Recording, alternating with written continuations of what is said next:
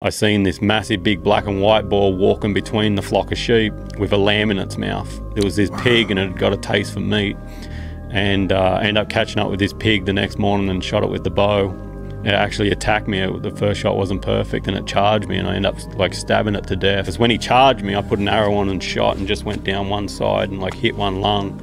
And it just infuriated this boar and he was on me and I end up getting my knife off me and I end up like stabbing this pig while it was like trying to run me over. Holy shit. Anyway, I end up stabbing this thing to death. and when I end up cutting it open, its whole insides, like its whole stomach, was like lamb's hocks, like the feet, the bottom of the feet where they can't swallow, and skulls, and just like little bits of uh, wool and stuff like that. Absolutely ruthless. They'll just walk right between the sheep and just fucking grab a lamb, walk off of it, chew it up, and eat it.